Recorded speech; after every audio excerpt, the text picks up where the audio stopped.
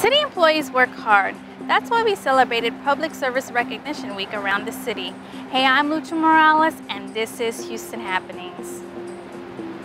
The Parks Department, along with Human Resources, Health, Library, the Office of Business Opportunity, and Public Works, competed against each other for another chance at bragging rights at this year's annual PSRW Kickball Showdown.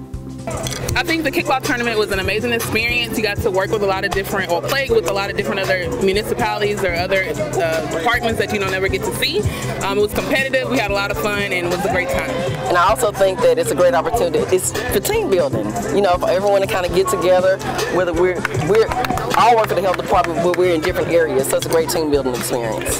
Parks and HR went on to the final round with Parks beating HR 6 to 0. This marks the second year Parks has won the championship game.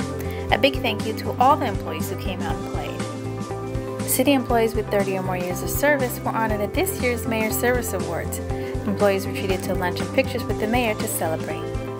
The Mayor's Service Awards is a yearly tradition that has become a staple of the city's PSRW celebrations that honor city employees' hard work. Six city employees received Bravo Awards thanks to their service to the community. The Bravo Awards recognize city employees who spend time outside of work volunteering. City employees who are not just outstanding at their jobs, they're exemplary, exemplary and even inspiring members of our community. This year's winners volunteered helping Harvey victims, local youth, the arts, women and children, and communities in need. We appreciate everything you do. We appreciate all of you so much. Local area high school seniors participated in the PSRW essay contest for a chance to earn up to $2,000 for college. Participants submitted essays about how they would strengthen the city if they were a city employee. They want leaders like, like you um, to stand up and say, hey, this is the right thing to do. And so I applaud you all today for being here, taking a step to, to inquire about public service. Winners were recognized at a ceremony and awarded their scholarships sponsored by Cigna.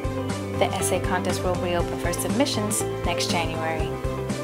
Young artists ages 5 to 18 celebrated their creativity through the PSRW Poster Art Competition.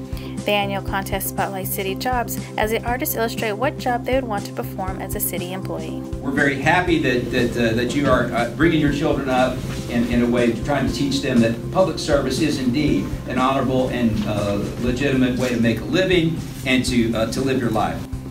Prize packages were awarded to the first, second, and third place winners in each age group during the ceremony, which was held at the Houston Heights Public Library. Congrats to all the kids and thank you to all our generous sponsors who donated prizes and food. Well, I hope you enjoyed this month's wrap up. Make sure you like and subscribe to our videos. Until next time, I'm Lucha Morales and this is Houston Happenings.